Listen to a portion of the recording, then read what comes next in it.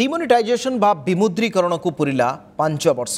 দুই হাজার ষোহল ঠিক আজর দিনের, নভেম্বর আট তারিখে পাঁচশহ এবং হাজার টঙ্কিয়া নোটকু অচল করে কেন্দ্র সরকার দেশর কলা টঙ্কা হটাইবা লক্ষ্যে নিয়াযাই এই পদক্ষেপ যোগ বিশেষ কলাধন ঠাব হয়ে পারি নথিলা বরং হন্তসন্ত হয়ে লক্ষাধিক লোক আরবিআইর তথ্য অনুসারে বিমুদ্রীকরণ ফলরে লোকঙ্ক নিকটে নগদ অর্থরাশি পরিমাণ বড়িছি କୋଭିଡ୍ କଟକଣା ବାରମ୍ବାର ଲକଡାଉନ୍ ସଟ୍ଡାଉନ୍ ପ୍ରଭୃତି କାରଣରୁ ଲୋକମାନେ ନିଜ ନିକଟରେ ଅର୍ଥ ଠୁଳ କରିବାକୁ ପ୍ରାଥମିକତା ଦେଇଛନ୍ତି।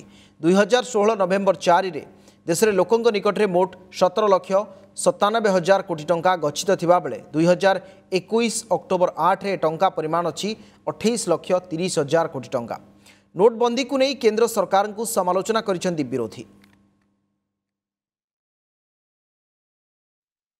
पाँच साल में एक भी उद्देश्य पूरा नहीं हुआ है। भ्रष्टाचार का कोई आलम ही नहीं है। और जहाँ तक आतंकवादी संगठनों को पैसा जाने की बात है, वो पैसा उसी तरह जा रहा है जिस तरह से 2016 से पहले जाता था। जब उन्होंने ये तुगलकी फरमान जारी किया था और उसके पाँच साल बाद क्या एक भी उद्देश्य उस तुगलकी फरमान का पूरा हुआ है कि नहीं? नोटबंदी के एक निर्णय के कारण पूरी देश की इकोनॉमी का पूरा ढांचा चरमरा गया।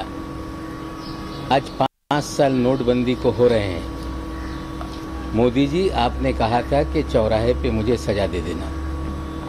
हम पूछना चाहते हैं कि चौराहा कौन सा है और देश की जनता आपको कौन सी सजा दे